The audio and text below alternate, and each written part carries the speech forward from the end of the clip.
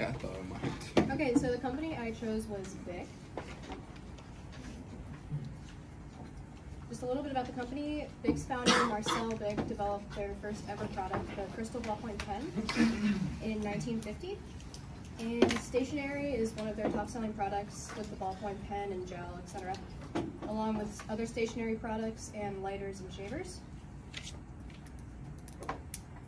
Bic is committed to reducing its carbon and environmental footprint while also having a strong ethics program that they've developed over like the past few years.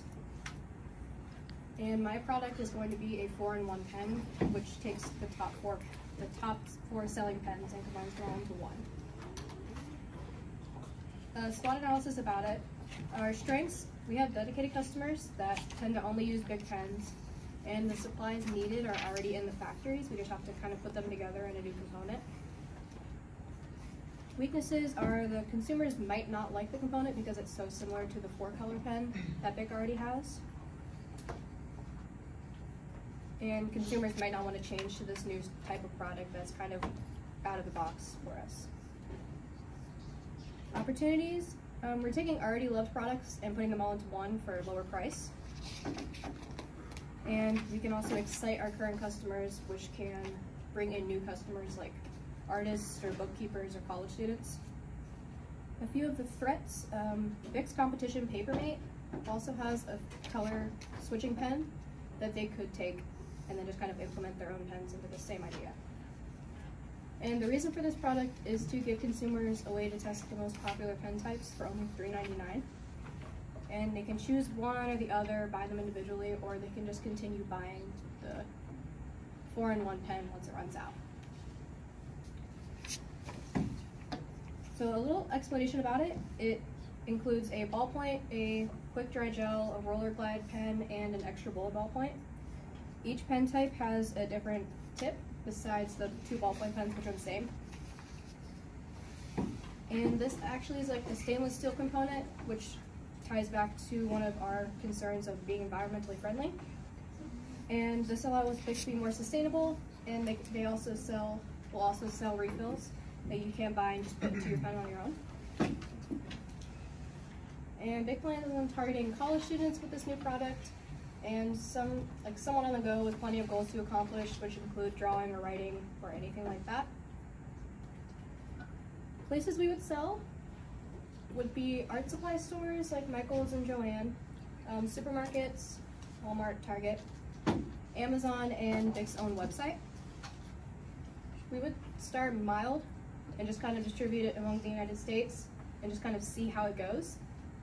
And then we would turn that into worldwide distribution, selling on Amazon and Bic's own website. And for pricing, we'll sell it for $3.99, which is the same price as the four color pens. And it will allow us to make a pretty good profit off of it while also selling the refillable inserts. So the number one competitor is Papermate.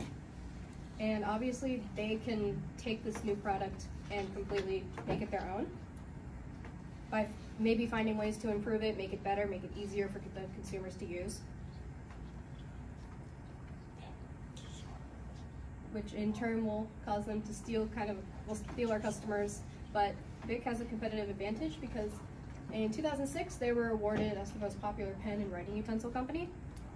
And with the ink and the pen tips that we use, we're definitely more popular than Papermate and more well known. And the way we would sell it is we would start with PR, which actually we would send it out to people who want it, like popular influencers, celebrities, whatever, and they can take it and promote it in their own way. We would also use social media, obviously just post about it, and maybe do like, you get 10% off of your first order of this if you're the first five people to share it with your friends or something. And product placement, we will have stores place, place the products in noticeable places as well as paying for advertising, so kind of signs and posters, like, and having it displayed near, having it displayed near the aisle, in the section that pens are in. We will implement this product and we plan to announce it in the spring around tax season. And it'll take about like eight months to mass produce. And it, it will be a permanent product. And some limitations and difficulties will include, include production hiccups, um, competitors kind of taking it and making it their own. It might be harder to produce than we think because we are using a stainless steel barrel, so it might be different.